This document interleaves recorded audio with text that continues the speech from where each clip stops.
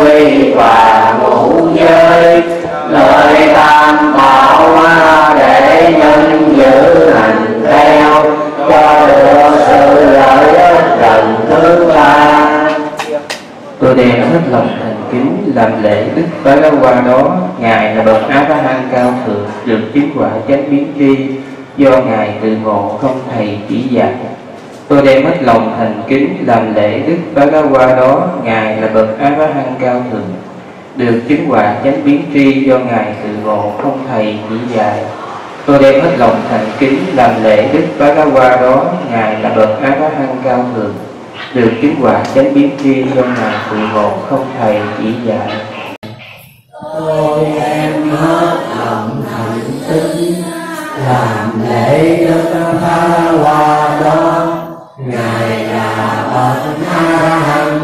cao thượng được chứng quả chánh tiên tri do ngài tự ngộ không thầy chỉ dạy. Tôi đem hết lòng thành kính, làm lễ đức tha qua đó ngài là bậc a hằng cao thượng, được chứng quả chánh tiên tri do ngài tự ngộ tâm thầy chỉ dạy hết lòng thành kính làm lễ đức Phật qua đó ngài là bậc a la hán cao thượng được chân quả chân nghiêm trì do ngài tự ngộ không thầy chỉ dạy tôi đem hết lòng thành kính xin quy y phật tôi đem hết lòng thành kính xin quy phật. Tôi đem hết lòng thành kính xin quy y pháp. Tôi đem hết lòng thành kính xin quy pháp tôi đem hết lòng thành kính xin quy y tăng. Tôi đem hết lòng thành kính xin quy tăng. Tôi đem hết lòng thành kính xin quy y phật lần thứ nhì tôi đem lòng thành kính xin quy phật lần thứ nhì. Tôi đem hết lòng thành kính xin quy y pháp lần thứ nhì. Tôi đem hết lòng thành kính xin quy pháp lần thứ nhì. Tôi đem hết lòng thành kính xin quy y tăng lần thứ nhì. Tôi đem hết lòng thành kính xin quy tăng lần thứ nhì. Tôi đem hết lòng thành kính xin quy y phật lần thứ ba đem hết lòng thành kính xin quy phật lần thứ ba. Tôi đem hết lòng thành kính xin quy y pháp lần thứ ba. Tôi đem hết lòng thành kính xin quy pháp lần thứ ba. Tôi đem hết lòng thành kính xin quy y tăng lần thứ ba.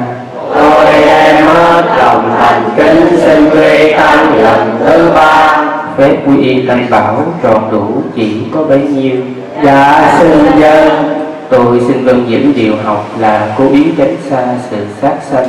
Tôi xin dân giữ điều học là cố ý tránh xa sự sát sanh. Tôi xin vâng giữ điều học là cố ý tránh xa sự trộm cắp. Tôi xin dân giữ điều học là cố ý tránh xa sự trộm cắp. Tôi xin vâng giữ điều học là cố ý tránh xa sự tà dâm tôi xin dân giữ điều học là cố ý tránh xa sự tà dâm. Tôi xin vâng giữ điều học là cố ý tránh xa sự nói dối. Tôi xin dân giữ điều học là cố ý tránh xa sự nói dối. Tôi xin vâng giữ điều học là cố ý tránh xa sự dễ vui uống rượu và các chất say. Tôi xin dân giữ điều học là cố ý tránh xa sự dễ vui uống rượu và các chất sai, chư phật tử, sau khi đã thọ trì tam quy và ngũ giới nơi tam bảo, hãy ráng phương giữ hành theo cho được trong sạch cho đến trọn đời, chẳng nên dễ vui. Dạ xin các chúng sanh được sanh về cõi trời cũng nhờ giữ giới. Các chúng sanh được giàu sang đầy đủ tài sản cũng nhờ giữ giới. Các chúng sanh được giải thoát, nhập niết bàn cũng nhờ giữ giới bởi các cơ ấy chư phật tử, hãy ráng thọ trì giới luật cho được trong sạch, đừng để lắm nhân. Làm thái phạm thiên vẫn ngâm rồi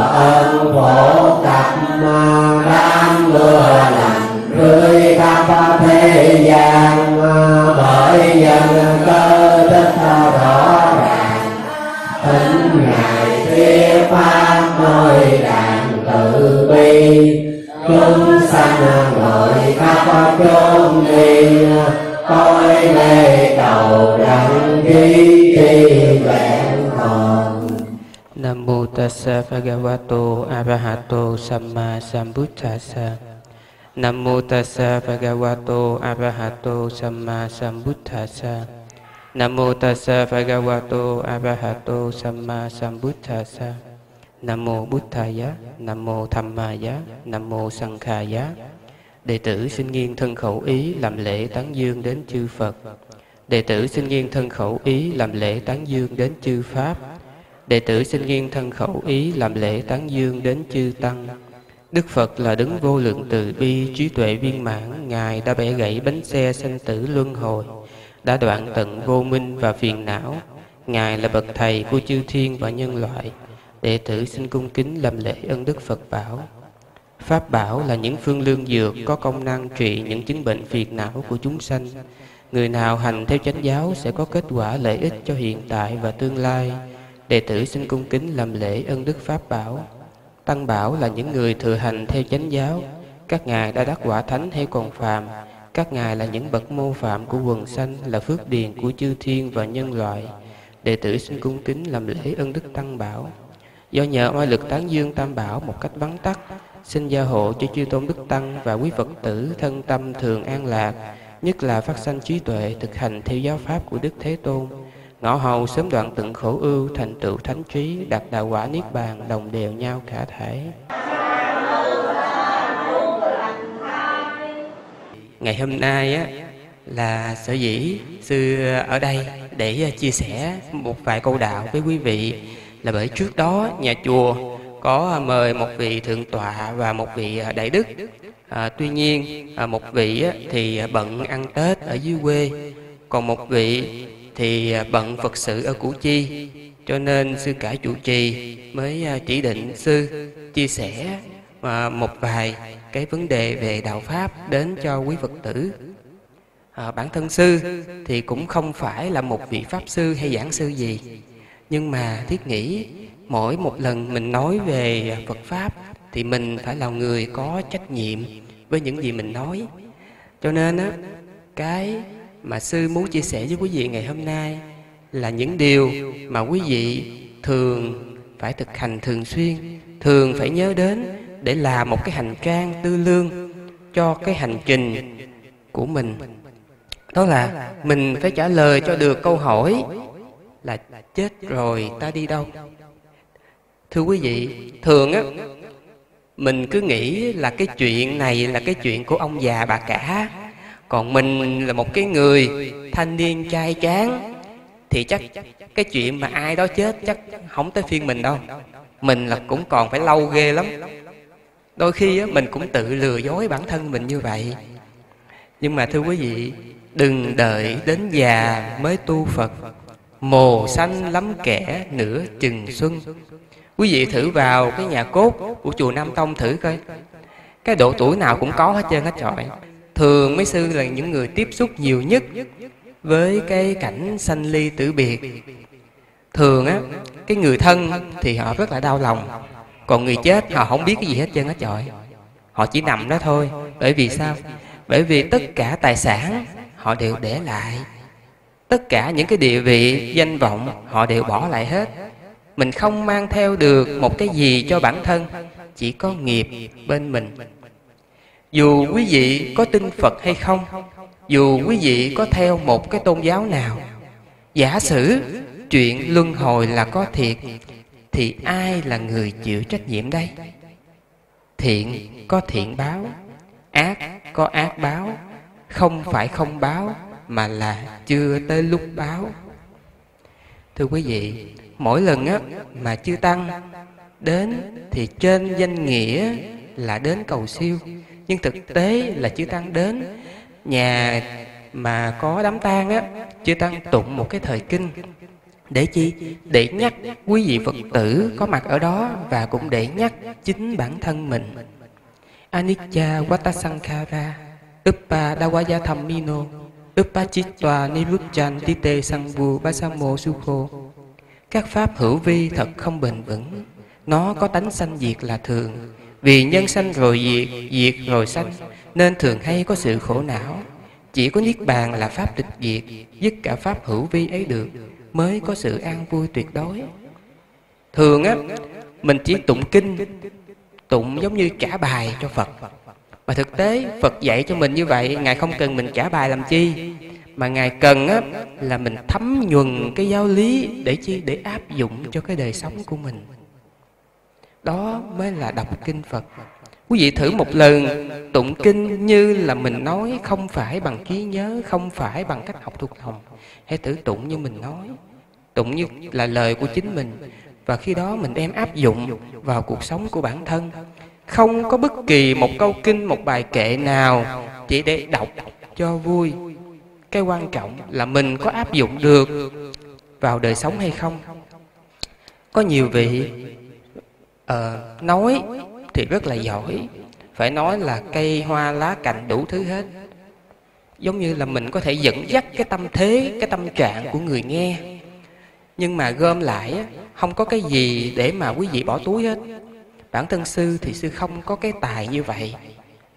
À, sư chỉ có thể chia sẻ một vài điều thực tế mong là quý vị khi mà đứng dậy rời khỏi chỗ này mình có một cái gì đó bỏ túi đem về. À thì ra phật có dạy như vậy.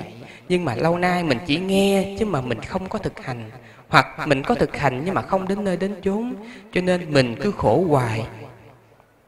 Thưa quý vị, nếu như không có cái chuyện gì bất ngờ xảy ra, thì mình sẽ phải nằm ở trên giường bệnh, thưa quý vị. Đối diện với cái tình cảnh hít vào nhiều hơn thở ra tim không làm việc, phổi không làm việc, gan không làm việc, thận không làm việc. Vào lúc đó, không có bất kỳ một tài sản nào, không bất kỳ một thế lực nào có thể giúp mình được. Cha mẹ, vợ chồng, con cái cũng chỉ có thể nhìn đó mà thôi. Và như sư nói, ngay từ ban đầu, tất cả các thiện nghiệp và ác nghiệp mà mình đã tạo thì mình đều là cái người thọ nhận hết. Điều đáng sợ là mình không có gặp phải những cái chuyện tốt. Nếu như quý vị vào cái giờ phút cận tử đó đó, quý vị gặp những cái cận tử nghiệp lành thì mình sẽ đi lên. Người chết như vậy chết rất là đẹp, thưa quý vị nhưng mà quý vị yên chí là những cái chết đẹp đó đó. Đa phần chỉ có ở trong phim. Nếu như mình tự tin là sau này mình cũng sẽ chết đẹp như vậy chỉ thấy là hơi thở hơi, hơi mệt mệt mình nằm cái mình hắt ra rồi mình không thở vô nữa là mình đi. Nếu quý vị nghĩ mình sẽ đẹp như vậy nếu quý vị tin tưởng là mình chết rồi mình sẽ sanh thiên sư đề nghị quý vị là hãy đi ra mua thử vé số việt lót nghe đâu đã hơn 300 tỷ rồi. Để chi vậy? Để tỉnh mộng đi.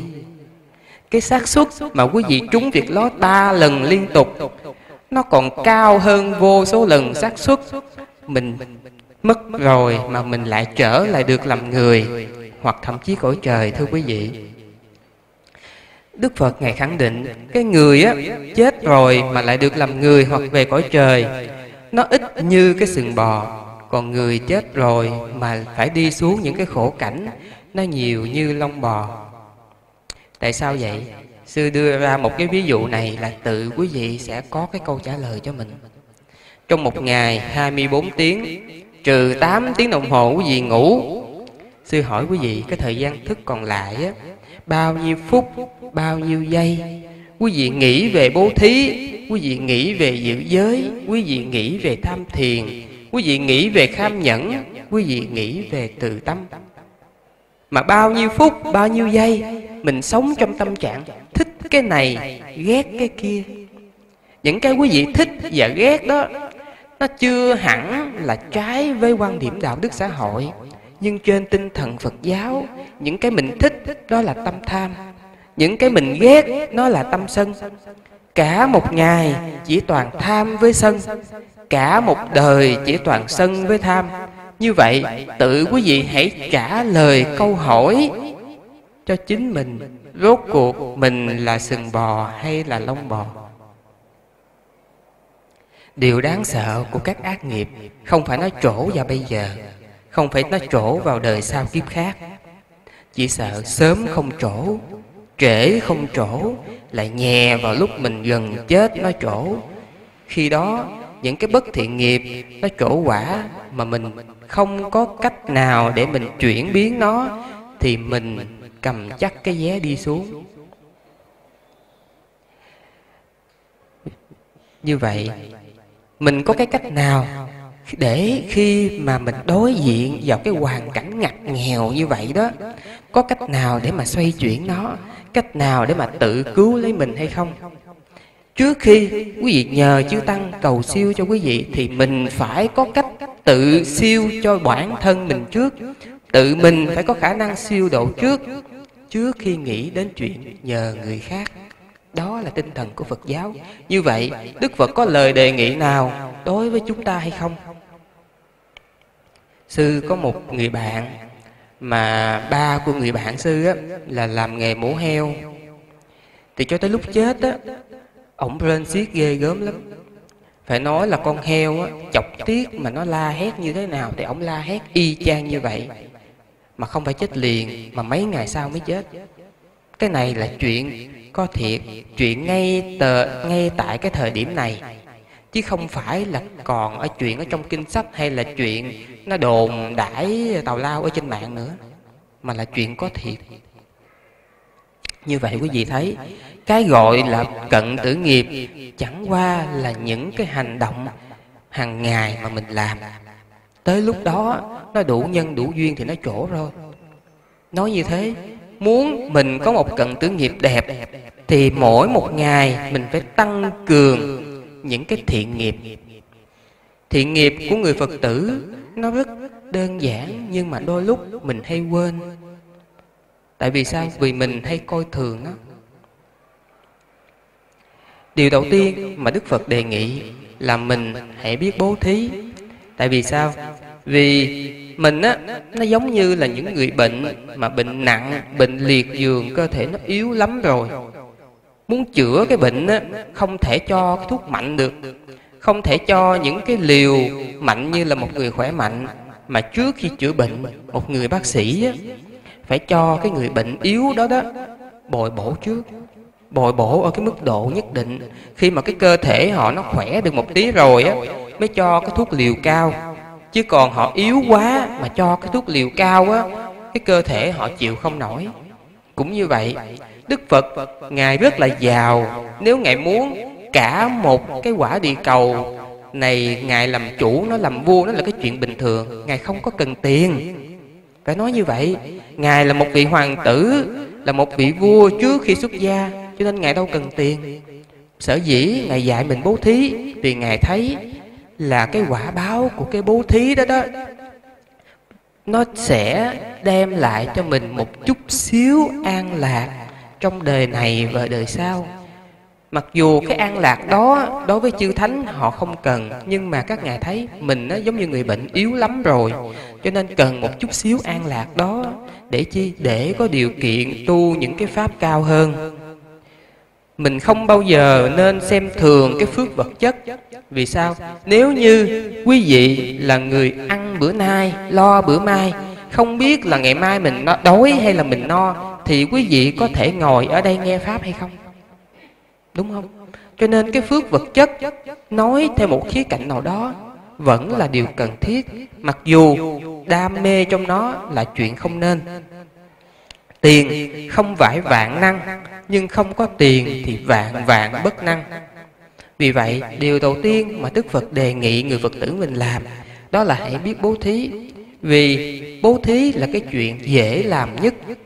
Mình không nhất thiết phải đến chùa, tô tượng, đúc chuông, xây chùa làm những cái chuyện lớn lao. Mà thậm chí mình có thể cho con chó, con mèo ăn, nó cũng là bố thí. Không ai nghèo đến mức không thể có được một hạt cơm, vài viên đường để mà cho con kiến nó ăn mọi thứ đều có thể bố thí được hết. Và đức phật ngài khẳng định, một người mà biết được quả báo bố thí như đức phật biết, thì ngay cả cái miếng ăn cuối cùng họ cũng không nỡ ăn nếu như có một chúng sanh nào cần đến nó. Và sư tinh là cái vật mà mình bố thí nó không bằng một phần triệu lần của cái tâm bố thí khi mình sống bằng cái tâm bố thí là mình sống bằng cái tâm cho ra. Khi mình có thể cho ra, thì mình, cái tâm mình nó mới nhẹ nhàng, nhờ như vậy mình mới được an lạc. Một người keo kiệt bỏng sẻn, chính bản thân họ còn không dám ăn. Huống gì là cho người khác, những người như vậy, họ khổ vô cùng, thưa quý vị.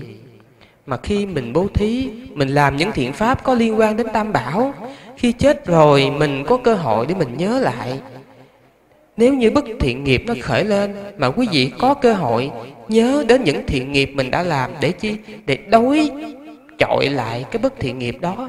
Nhất là những thiện nghiệp có liên quan đến tam bảo, thì mình sẽ có cái phát phát được cái tâm tùy hỷ. Khi mình hoan hỷ như vậy, mình sẽ chuyển được cận tử nghiệp và mình có thể đi lên.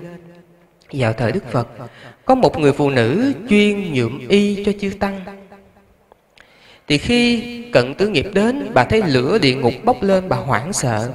Thì vị tăng ở gần đó mới nhắc nhở, bà hãy nhớ đến màu y của chư tăng. Hãy nhớ đến cái màu đỏ mà bà đã nhuộm, nhớ đến màu vàng bà đã nhuộm. Thì khi đó bà nghĩ đến màu y của chư tăng, mặc dù bà nhìn thấy màu của lửa địa ngục, nhưng bà quán tưởng đến màu của cái tấm y chư tăng mà bà nhuộm hàng ngày như vậy, nhờ như vậy, bà chuyển được cái cận tử nghiệp của mình và bà sanh thiên thưa quý vị, trước khi lá cờ phật giáo này được chế ra, sau này thì lá y của chư tăng được gọi là lá cờ la hán.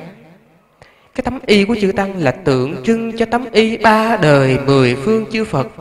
Quý vị lạy, không phải là quý vị lạy cá nhân sư, mà quý vị lạy cái tấm y, lạy cái biểu tượng của giác ngộ, của giải thoát của ba đời mười phương chư phật. Do đó vào những dịp dịp lễ dân y Katina. Mình có thể, mình đội tấm y đi nhiễu Phật ba vòng quanh chánh điện.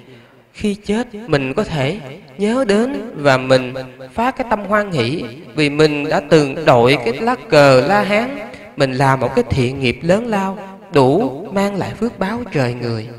Vì vậy, điều đầu tiên mà đức phật đề nghị người phật tử hãy làm, đó là hãy biết bố thí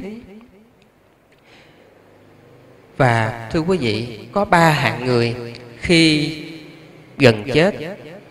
Hạng người thứ nhất là cả một đời chuyên sống thiện. Cả một đời chuyên sống thiện.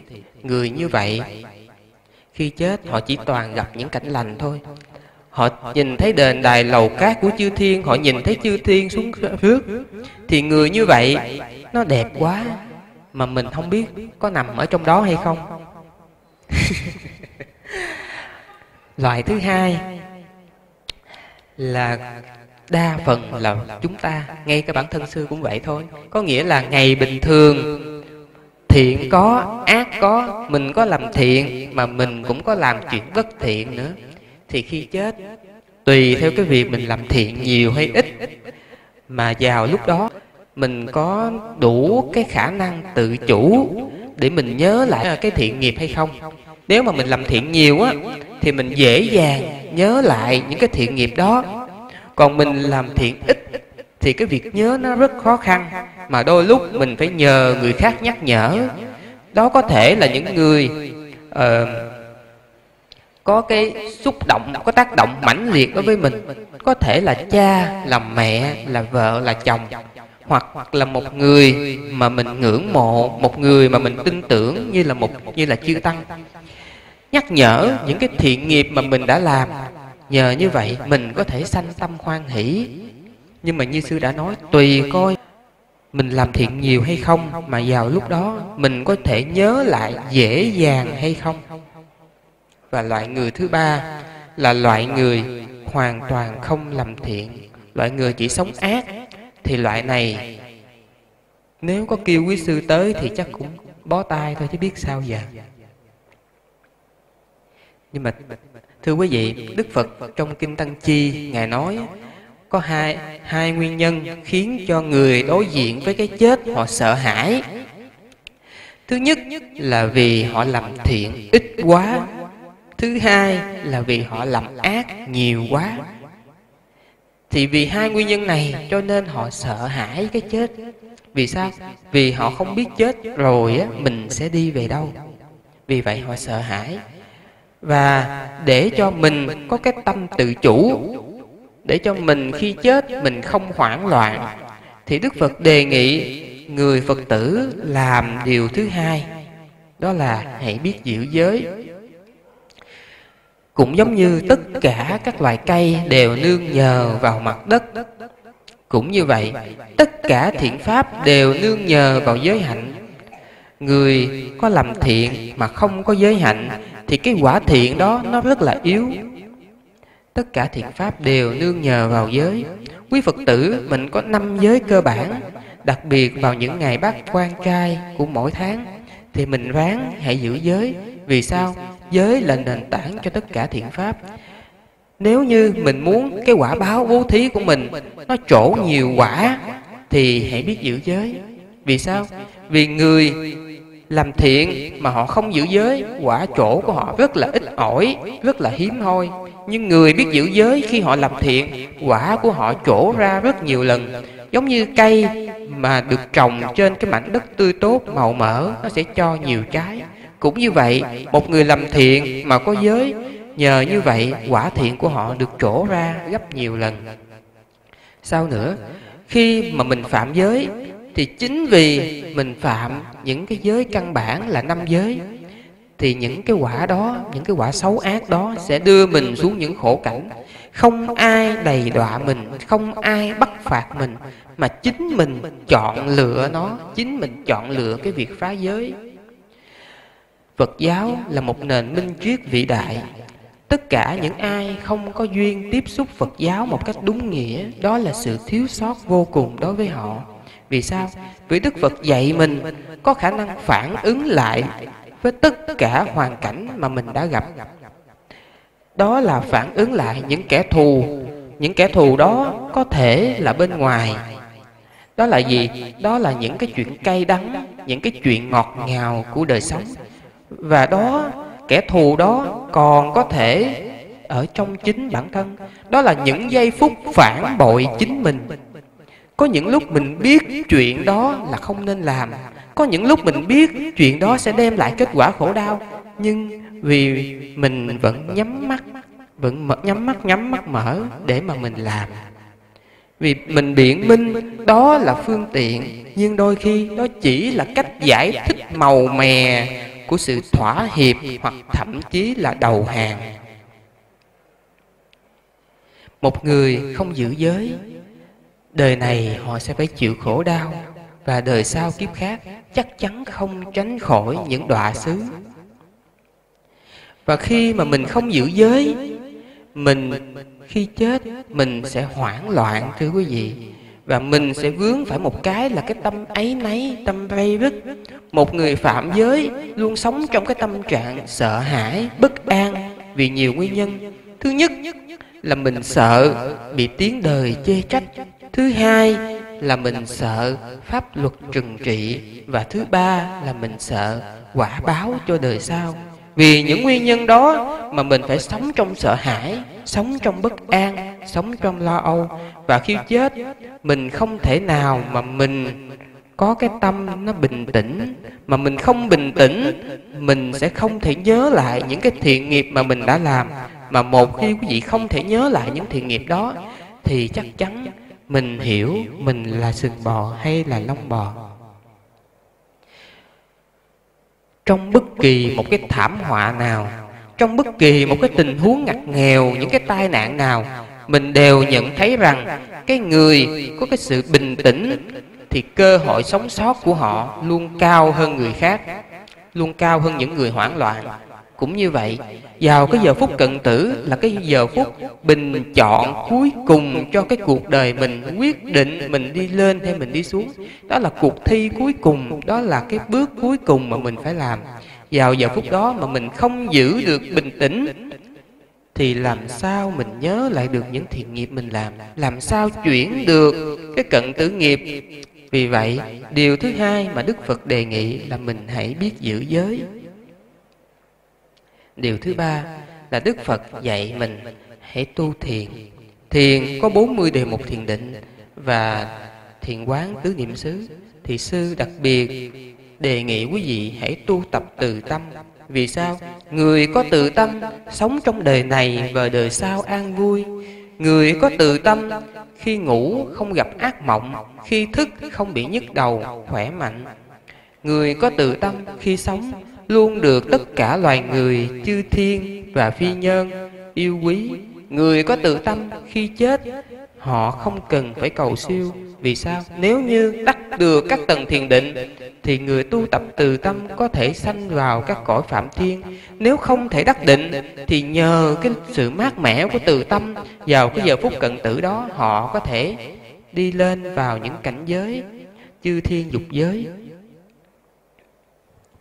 và trong Kinh Tăng Chi, Phẩm Hạt Muối, Đức Phật dạy là giống như một cái nắm muối, mình bỏ vào ly nước, thì ly nước đó không thể uống được. Nhưng một nắm muối đó, nếu mình bỏ vào cái lu, thì mình miễn cưỡng có thể uống được. Và cũng nắm muối đó, nếu quý vị bỏ vào dòng sông, thì nó không ảnh hưởng gì hết cũng như vậy, người không có tu tập, tâm địa hẹp hòi, dù họ làm một cái việc ác nhỏ, thì việc ác đó cũng đủ dẫn họ xuống những cái khổ cảnh. Còn một người có tu tập, tâm địa rộng lớn, khi họ làm nghiệp ác, thì những nghiệp đó trổ quả ngay trong đời này và không còn một chút xíu dư sót gì đến đời sau kiếp khác. Và để tu tập được tâm địa rộng lớn thì hãy tu tập tứ vô lượng tâm. Mình á, ai cũng mong mình có nhiều phước phước báo vô lượng vô biên, tài sản vô lượng vô biên, thân bằng quyến thuộc vô lượng vô biên.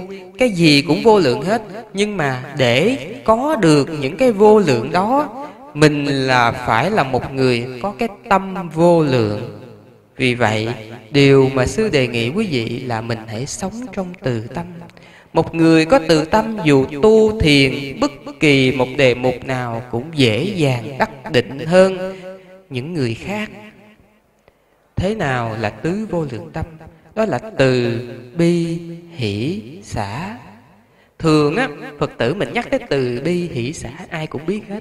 Nhưng mà phân tích sâu thì bao nhiêu người trong số quý vị có thể hiểu cặn kẽ về nó. Thế nào là từ vô lượng tâm?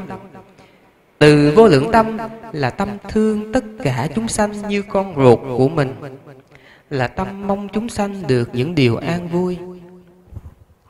Người có từ vô lượng tâm, Khi ngồi giữa hội chúng, Khi ngồi giữa đám đông, Cũng giống như một người mẹ ngồi giữa các con của mình.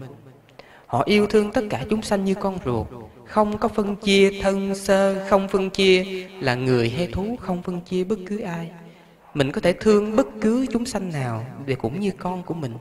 Và người có tự tâm, mặc nhiên, họ có thể giữ được giới một cách tự nhiên, không phải cố gắng. Thường, khi mình giữ giới, mình thấy là mình phải cố gắng ghê gớm lắm. Mình phải gồng sức ghê gớm lắm, vì nhiều nguyên nhân. Nhưng một người có tu tập tự tâm, họ giữ giới một cách tự nhiên. Vì sao? Một người mẹ thương con đúng nghĩa, họ không thể giết con của mình. Khi đó, họ không sắc sanh, Không phải vì họ sợ tội, Không phải vì họ muốn làm phước, Mà vì họ không còn đủ điều kiện tâm lý để sát sanh nữa. Đó là cảnh giới cao nhất của việc giữ giới. Và một người mẹ thương con Thì họ không thể trộm cắp tài sản của con mình. Do đó, người có từ tâm, Họ giữ được giới không trộm cắp. Người có từ tâm, Họ không thể tà dâm với con của mình. Vì vậy họ giữ được giới không tà dâm. Một người mẹ thương con sẽ không nói dối con để lừa gạt nó mưu lợi cho bản thân. Vì vậy họ giữ được giới không nói dối. Do đó chỉ còn mỗi một giới không uống rượu nữa thôi là người tu tập từ vô lượng tâm có thể giữ được trọn vẹn năm giới một cách không khó khăn. Tiếp, tiếp nữa là bi vô lượng tâm. Bi vô lượng tâm là gì? Là mình thương tất cả chúng sanh phải chịu khổ. Khổ, nó có ba nguyên nhân. Thứ nhất là vì mình phải gần gũi những thứ mà mình ghét, phải gặp những người mình không ưa, phải tiếp xúc với những hoàn cảnh mình khó chịu. Đó gọi là khổ khổ. Thứ hai, đó là vì mình phải xa lìa những thứ mình thích, phải xa lìa những hoàn cảnh dễ chịu phải lìa bỏ những người mà mình thương yêu như cha mẹ vợ chồng. đó gọi là hoại khổ. thứ ba là những điều kiện lệ thuộc nhân duyên. nó vô cùng mong manh mà chúng sanh phải sống nhờ vào đó. sư ví dụ vì mình là người việt nam mình mới có cách sống cách suy nghĩ cách ăn uống cách đi đứng của người việt nam vì mình là người Việt Nam Mình mới ưa thích những món ăn Việt Nam. Mà đôi lúc những món ăn đó Người nước ngoài họ không dám ăn.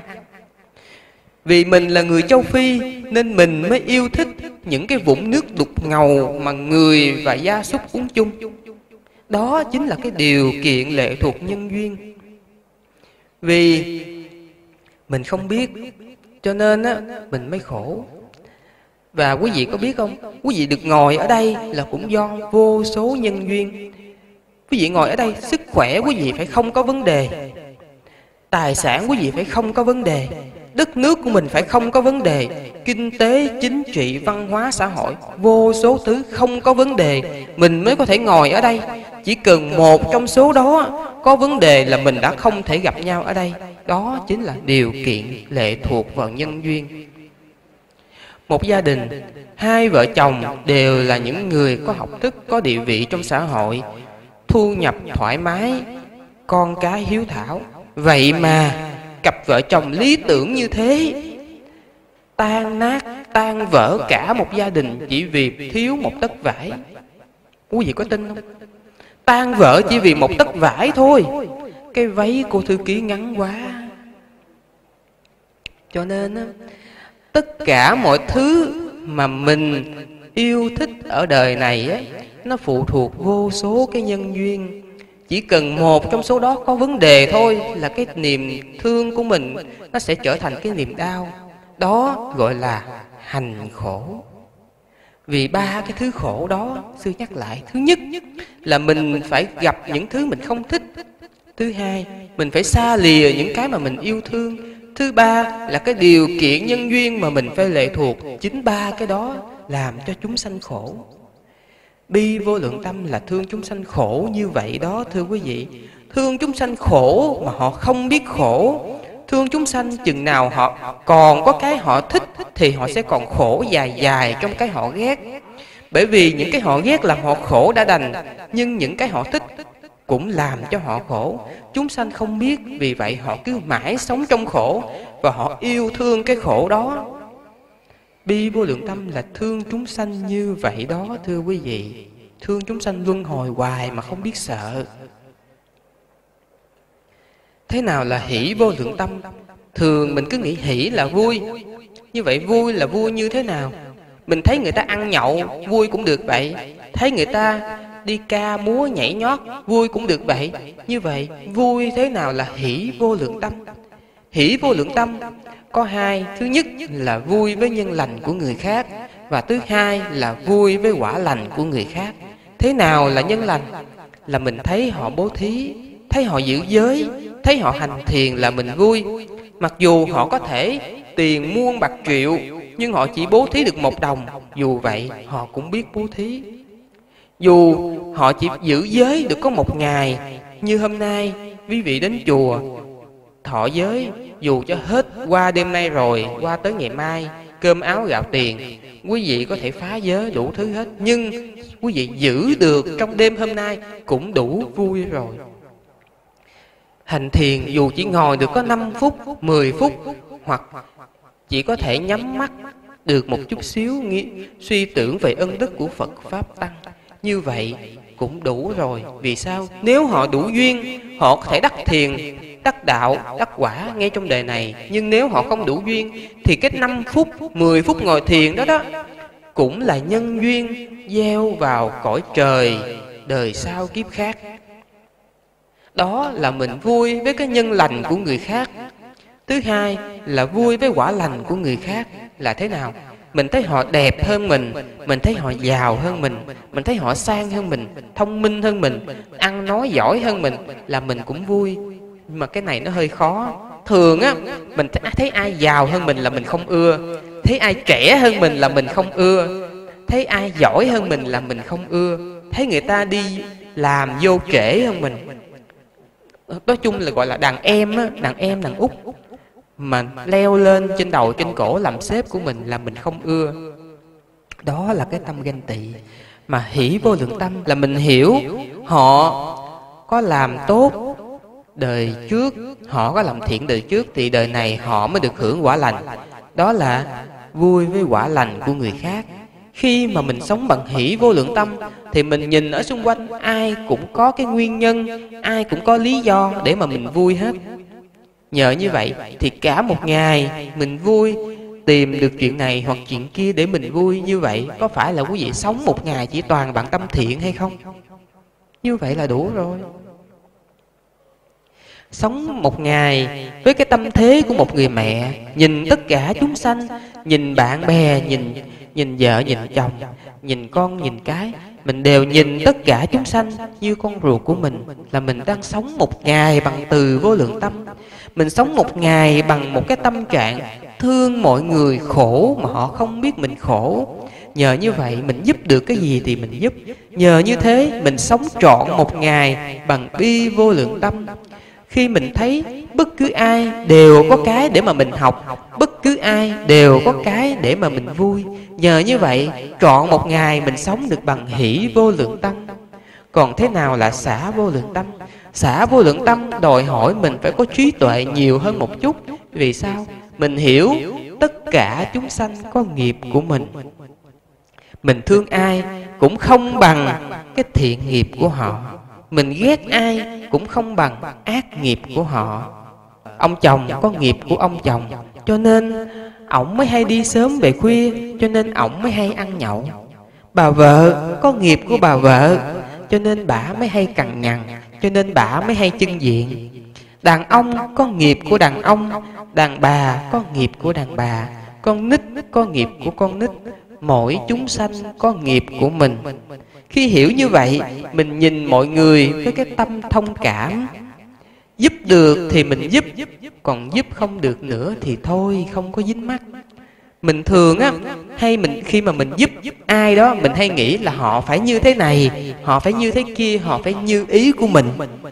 Nhưng mà thưa quý vị, ngay cả cái tâm của mình đây nè, mà mình còn không bắt nó theo mình được, vậy mà người dân ở ngoài mình bắt họ phải theo như ý mình, thì hỏi làm sao mà mình không khổ? Vì vậy, xả vô lượng tâm, mình hiểu mọi chúng sanh có nghiệp của mình mình sống bằng cái tâm thông cảm giúp được thì mình giúp giúp không được nữa thì thôi, không có dính mắt. Cũng giống như mình làm cha làm mẹ thì mình thương con, mình nuôi cho nó ăn học, mình lo cho nó việc làm, mình lo cho nó dựng vợ gả chồng. Mình lo nó hết lòng là như vậy. Nhưng nếu như nó vẫn không như ý của mình nó vẫn sống theo cách sống của nó. Nó tự nó hại mình, nó tự nó hại người, nó tự hại tất cả những người xung quanh. Thì mình hiểu đó là nó có nghiệp của nó. Như vậy, mình thương thì mình giúp giúp không được nữa, mình cũng không có nặng lòng. Đó là mình sống bằng xả vô lượng tâm. Một người suốt trọn một ngày sống bằng tứ vô lượng tâm như vậy, Không nhất thiết là mình phải ngồi yên, Không nhất thiết là mình phải nhắm mắt. Mà mình có thể sống bằng bốn vô lượng tâm. Chọn cả một ngày trong khi đi, đứng, nằm, ngồi Trong khi nói chuyện, trong khi cử động, trong khi làm việc Trong bất cứ một cái hành động nào trong ngày Mình đều có thể sống bằng tứ vô lượng tâm. Tùy lúc mà mình sống bằng tâm từ Tùy lúc mình sống bằng tâm bi Tùy lúc sống bằng tâm hỷ Và tùy lúc sống bằng tâm xã Như vậy mình có thể chọn cả một ngày Sống hoàn toàn bằng tâm thiện Thưa quý vị. Nhờ như vậy mình có nhiều cơ hội Để mình làm sừng bò Hơn là mình làm lông bò. Và thưa quý vị Lỡ như quý vị có phải sanh vào những cái đọa xứ thì á, có một loài chúng sanh gọi là ngạ quỷ. Cái loài này đương nhiên ngạ quỷ nó có nhiều chủng loại lắm thưa quý vị nhưng có một chủng loại có thể nhận được phước hồi hướng có nghĩa là nếu mình mất bạn đạo nhớ tới mình, cha mẹ nhớ tới mình, thầy tổ nhớ tới mình, có tụng kinh, có làm thiện, có hồi hướng phước. Nếu mình phải xa đọa mà vào đúng cái loài ngạ quỷ đó đó, thì mình cũng có thể nhận được phước hồi hướng. Đó gọi là một cái vé vớt, một cái tầm, một cái tờ giấy bảo hiểm cho đời sau lỡ mà mình phải xa đọa. Tuy nhiên, để làm được, để lỡ và đọa đó, đương nhiên không ai muốn. Nhưng nếu lỡ mà có thể vô được cái loài này thì thứ nhất họ phải bỏ được cái tâm ganh tị bỏng sẻn thứ hai họ phải tin vào nghiệp và quả mà thưa quý vị, khi quý vị tu tập bằng tứ vô lượng tâm, có phải là bằng hỷ vô lượng tâm, bi vô lượng tâm là quý vị đã bỏ được cái tâm ganh tị bỏng sẻn hay chưa? Và khi quý vị tu tập bằng xả vô lượng tâm, có phải là quý vị đã tin vào nhân quả hay chưa? Và khi mà quý vị tu tập từ vô lượng tâm, có phải là quý vị đã giữ giới được hay chưa? Nhờ như vậy, nhờ có sự tu tập, nhờ có sự ứng dụng vào đời sống hàng ngày, mà mình có thể đảm bảo cho cái đời sau kiếp khác đương nhiên khả năng lớn nhất là người có tu tập từ tâm họ sẽ được đi lên nếu không được đi lên vì một cái bất thiện nghiệp nào đó trong quá khứ có bị sa đọa thì cũng còn một cái tờ giấy bảo hiểm để chi? Để mình có những cái bạn đạo để mình có thầy tổ làm phước, hồi hướng phước. Nhờ như vậy, mình vẫn còn có cơ hội để xoay chuyển tình thế. Do đó, điều thứ ba mà sư đề nghị quý vị là hãy tu tập tứ vô lượng tâm. Thưa quý vị, cái thân thể loài người này á, mình cứ đam mê nó mình suốt ngày mình cứ thích ăn, mặc, ngủ, nghỉ. Mình thích sức nước hoa, mình thích những thứ thơm phức. Nhưng thưa quý vị, cái mùi của loài người mình á, chư thiên đứng cách xa ba mười do tuần, có nghĩa là khoảng một trăm sáu chục cây số. Họ sợ cái mùi người loài người ghê lắm. Giống như á, mình nhìn vào cái chuồng heo, mình không hiểu con heo nó vui cái gì trong cái chuyện mà nó ăn cám? Nó vui cái gì trong cái chuyện mà nó vùi mình vô trong những cái vũng bùn? Nó vui cái gì trong những chuyện nó chỉ biết ăn rồi ngủ và chờ ngày làm thịt? Cũng vậy, chư thiên nhìn suốt cõi người, họ nhìn mình thấy mình quanh quẩn trong những cái thú vui tầm thường. Họ không hiểu mình có cái gì mà mình đam mê ở trong đó. Thân người nặng nề, quý vị ngồi chỉ một chút xíu là mình đã mỏi chân, ngồi một chút xíu là mình đã mỏi lưng ngồi một chút xíu là mình có nhu cầu đi vệ sinh, ăn uống, đủ mọi thứ hết. Ngay chính cái thân thể này đã là gánh nặng. Mà vì phải nuôi thân thể này, mình phải đi làm. Mà vì mình đi làm cho nên mới sinh ra những thứ mình thương, những điều mình thích. Và từ những thứ mình thương, những thứ mình thích đó, mình gây tạo đủ mọi chuyện thiện hoặc ác. Cho nên cái cõi người này mình đừng tham thích nó nữa. Nếu như cận tử nghiệp tới hãy mạnh dạn bỏ cái thân người này đi. Để chi? Để lấy cái thân khác nó vui sướng hơn. Cũng giống như mình bỏ chiếc xe cũ, lấy chiếc xe mới. Hãy nghĩ về cõi trời. Ở đó họ hoàn toàn an vui. Ở đó họ không phải bị cái tấm thân nặng nề này nó giam hãm. Ở cõi trời không có chiến tranh, không có đau thương, không có máu lệ ở cõi trời không bị chi phối bởi sự già không bị chi phối bởi sự bệnh. Ở cõi trời là điều mình nên muốn hướng tới. Thưa quý vị Vào thời này mình thấy chúng sanh ở loài người Sống ác nhiều hơn sống thiện. Chiến tranh xảy ra, đau khổ xảy ra. Và ngay trong Phật Pháp thì cũng không còn được như xưa Không còn những bậc thánh. Nhưng mà thưa quý vị, Những vị đệ tử của các bậc thánh, Các vị sanh vào cõi trời còn ở đầy ở trên đó. Khi mình lên trên đó, Mình có đầy đủ cơ hội để mà mình tu tập. Nếu có duyên, mình có thể đắc đạo đắc quả ngay trên cõi trời. Vì vậy, đừng mong cầu ở cõi người Hãy suy nghĩ về cõi trời vào giờ phút cận tử. Và thưa quý vị, Những cái thú vui của cõi trời á nó vẫn còn là thấp kém so với cõi phạm thiên. Ở cõi phạm thiên, họ chỉ toàn hưởng cái sự an lạc trong thiền, và thú vui của thiền định nó cao cấp gấp vô số lần thú vui của cõi trời. Vì vậy, hãy tiến thêm một bước nữa, Hãy nghĩ về cõi phạm thiên. Ở đó họ chỉ vui trong thiền định, Có hào quang sáng chói. Và thưa quý vị Hãy hiểu là dù mình có đi đâu, Dù mình sanh về cõi phi tưởng, phi phi tưởng, Ở lâu vô số năm ở trên đó, Thì sao? Hết tuổi thọ rồi mình vẫn phải đi xuống. Còn trong tam giới là còn khổ, Còn luân hồi là còn khổ. Vì vậy, đừng mong cầu luân hồi nữa, Đừng mong cầu đời sau kiếp khác nữa. Hãy nghĩ tưởng đến Niết Bàn, Hãy nghĩ tưởng đến việc không còn tái sanh nữa. Đó là tuần tự Pháp mà Đức Phật dạy. Đầu tiên, mình hãy biết bố thí, Vì những quả báo bố thí đó Sẽ là những cái phương thuốc cho mình được hạnh phúc, giàu chỉ chút xíu cho đời này và đời sau. Nhờ cái bố thí đó, mình có nhiều điều kiện hơn để mình tiến thêm một bước nữa là mình có thể giữ giới. Người quá nghèo, việc giữ giới đối với họ vô cùng khó khăn vì vậy khi tiến thêm một bước nữa quý vị hãy ráng giữ giới để khi chết mình được tỉnh táo để có thể nhớ lại được những cái quả lành những cái việc lành mà mình đã làm.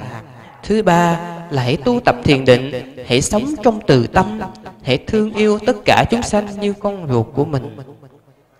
Thứ tư, vào giờ phút cận tử Mình đừng luyến tiếc thân thể này nữa. Hãy nghĩ về những cảnh giới cao hơn. Hãy nghĩ về cõi trời dục giới. Hãy nghĩ về cõi phạm thiên sắc giới, vô sắc giới. Và cao cấp hơn nữa Hãy nghĩ tưởng về việc không còn tái sanh. Hãy nghĩ về Niết Bàn. Đó chính là hành trang, là tư lương.